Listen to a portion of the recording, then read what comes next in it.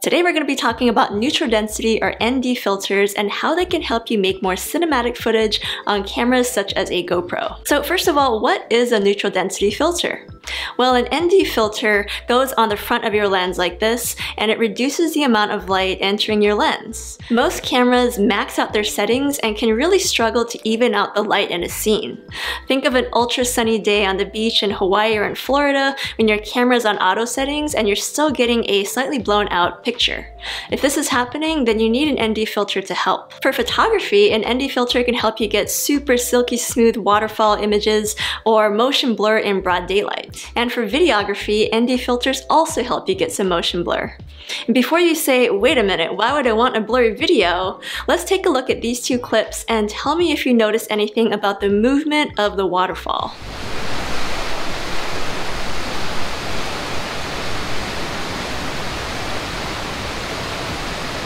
So typically you don't want a super blurry video, but you want a small degree of motion blur, especially if you're filming a fast moving subject.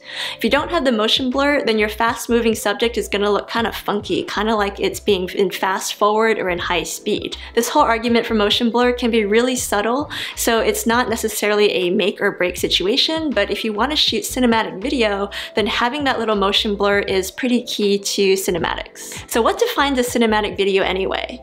This is actually a really good question, and if you guys have any ideas about what cinematics mean, then I'd love to hear your definition in the comments below. But in general, I feel like it's a super general term, and basically cinematic video is a look and the feel of a film to make it look like a Hollywood movie. So there's all different kinds of elements that make your film more cinematic, but a really key part of that are the camera settings. So typically if you're shooting a cinematic video, then you want your camera to be on manual mode and you want your shutter speed to be double that of your frame rate. So if your frame rate is 30 frames per second, your shutter speed should be at 1 60th, and if it's at 24 frames per second, then your shutter speed should be at 148. However, in most cases, if you were to take your camera and put it on manual and have your shutter speed be at 1 60th or 1 48th of a second, you'll probably notice that your image looks really blown out. You may not be able to see anything at all. Alright, this is testing out the cinematic settings and obviously this looks really blown out but that's because our settings are on manual.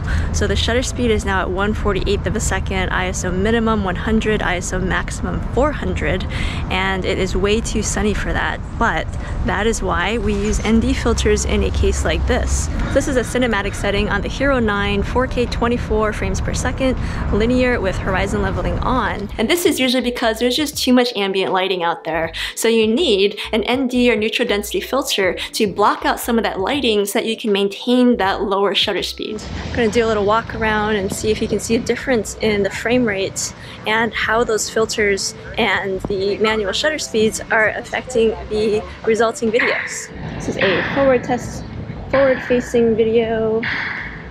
So when it comes to GoPro, you actually have several different ND filter options. And the first one I'm going to talk about is also one that you can use on a mirrorless camera lens or a DSLR camera lens. This is a circular variable ND filter. So when you twist it around, the neutral density power is changing. It can be stronger or less strong depending on how you twist this filter. And in most cases, you definitely want a variable ND filter because your light conditions are often changing. If you happen to be in a set or someplace where your lighting conditions are constant, then you probably don't need to worry about having a variable ND filter. But for most of us that work with natural lighting that's changing all the time, then a variable ND filter is the best way to respond to the changing lighting conditions without having to change your camera settings. So this is a 52 millimeter filter and it's intended to be used on interchangeable lens cameras, but I'm using it on the GoPro thanks to this little adapter made by Ulanzi.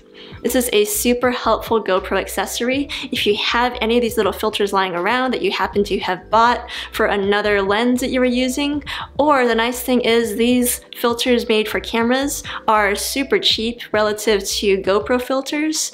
So you can just buy this 52 millimeter filter and be able to use it interchangeably on GoPros as long as you have the adapter that fits the GoPro that you're trying to use. The other really great thing is that you can also swap this out for a circular polarizer or a graduated neutral density filter, any kind of filter that has a 52 millimeter thread. And there's quite a few of them out there and they're all pretty reasonably priced. So you have some pretty great flexibility if you go with this style of ND filter for your GoPro. However, if you're looking for something more fitted for your GoPro, you can go for a filter option such as those made by Polar Pro. So Polar Pro and there's another brand named Freewell, they make these little filters that actually replace the front lens of your GoPro. This is only true for certain GoPros. The only GoPro it's not true for is the Hero 8 because the Hero 8 you unfortunately cannot remove the front GoPro lens. These filters are super high quality, the glass is really really nice, and I didn't notice any lens flares or excessive noise coming from those filters, so I think they're really really worth it. You can also use these filters along with the GoPro Media Mod and other accessories, they don't get in the way. Probably the only trade-off with these filters are that number one, they're a little pricey, especially the Polar Pro versions. They cost a lot of money and you also have to change them out whenever you get a new GoPro because for the last three GoPro models at least, the filter sizes have been different. So you might have to change them out if you ever choose to upgrade your GoPro. Another downside is that it takes some extra time to change out the filter. You have to take off the filter and have the actual lens exposed and that can be a little nerve-wracking especially if you're doing some adventure traveling out with dirt or sand around so you have to be pretty careful. It's not a very quick process to change those filters out. So if you don't want to physically take off your filter and expose your lens, there's another option out there made by Telesin. So these are super high quality as well. The glass is really nice and the frame is metal. And if you ever want to put this on your GoPro, all you have to do is stick this filter over the existing filter on your GoPro. And now we have a GoPro with an ND filter on it. The only possible downside to using filters this way is that now your GoPro is having to film through two filters. You have the original filter that the GoPro came with, and now you're adding a secondary filter on top of it. So that could mess with your quality just a little bit. This setup is also very dubiously waterproof. You could stick the whole camera in water like this and it would be okay, it wouldn't damage your camera, but I'm not sure that there's a watertight seal between the Telesin filter filter and the GoPro filter. So there is a really good chance you could get water between the two filters. And that's a big difference from the Polar Pro. If you put the Polar Pro filter on top of your GoPro, then your camera is still waterproof and you can use your camera underwater with that ND filter attached. But other than that, the Telesin is a really great deal. The price is a lot lower than the Polar Pros, and you can also use this filter along with the GoPro and the Media Mod. You also get a CPL or a circular polarizer with the Telesin bundle, which is different from the Polar Pro because that one does not include a polarizer. And since we're on the subject, ND filters and polarizers are really similar, but they're also slightly different.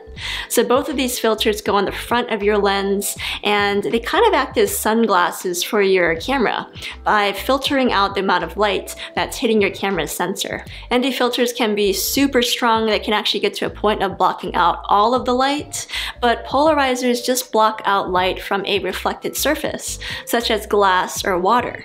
So if you're ever filming at the beach or a lake or somewhere where you have a lot of reflected light, then you definitely want to use a polarizer. And that's all I have to say about ND filters today and filming with GoPros. So let me know if you have any questions in the comments below. If you like this video, please give it a thumbs up, subscribe for more content relating to GoPros and filming and taking photos, and I'll see you in the next video.